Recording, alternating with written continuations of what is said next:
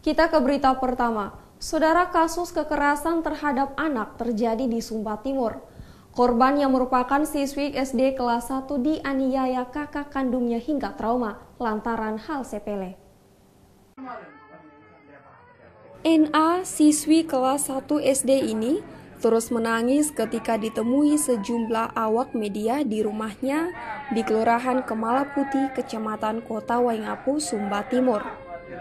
Rasa trauma berat membuat NA ketakutan dan terus menangis ketika ditemui orang baru. NA sebelumnya mendapat perlakuan kasar dari kakak kandungnya berupa penganiayaan selama tiga hari.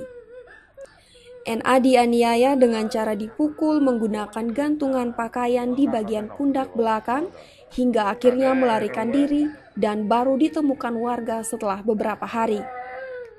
Warga pun melaporkan kasus ini ke pihak kepolisian.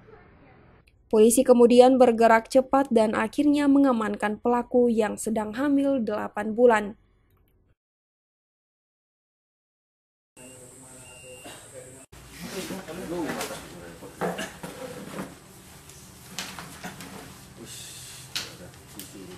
ada sebuah kasus penganiayaan terhadap anak dan penganiayaan itu ditemukan oleh beberapa masyarakat setelah dia lari dari rumah pada tanggal 7 Februari 2019 di pinggir jalan.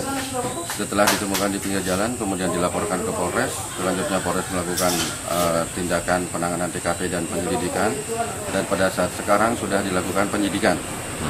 Eh, kasus ini sudah tahap penyidikan dan sudah dilakukan pemeriksaan saksi-saksi, kemudian pemeriksaan tersangka dan dalam prosesnya ini kalau di persentase sudah 80% dan hari ini akan dikirim surat pemberitahuan di penyidikan ke kejaksaan.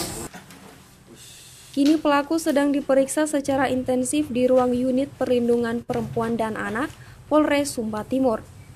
Pelaku juga ditahan polisi guna kepentingan penyidikan lanjutan.